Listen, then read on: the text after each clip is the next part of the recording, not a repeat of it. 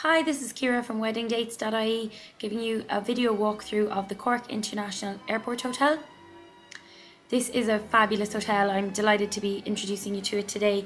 It's really quirky and funky. We actually had the Irish Blog Awards were hosted here last year, so um, a lot of the bloggers out there would be well familiar with this hotel this is the bathroom here, the ladies' toilets. It's just crazy. The, the lights and the decor in there is really, really unusual. And I think this would be a fantastic place to have your wedding just because it is so quirky. It's so unlike any other hotel that's out there. Obviously, it's located up at Cork Airport, so it's very handy for guests that might be flying in or out of the wedding, and particularly for the honeymoon couple themselves. Um, it's just a quick jaunt down to the airport in the morning. This is the restaurant, as you can see. Um, it's like you're having your meal in the plane, and this is one of the private dining rooms. The bar area is always bustling during lunchtime. The food here is very well well done and well presented, and the staff are really really friendly.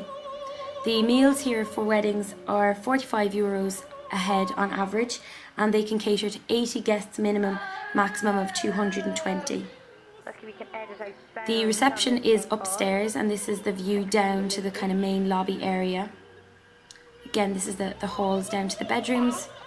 And the hotel is newly built, so the bedrooms are really fresh and everything is brand new. Most of the bedrooms overlook the airport as well, so you can see the planes arriving and departing. The Cork International Airport Hotel. Check availability for your wedding on weddingdates.ie.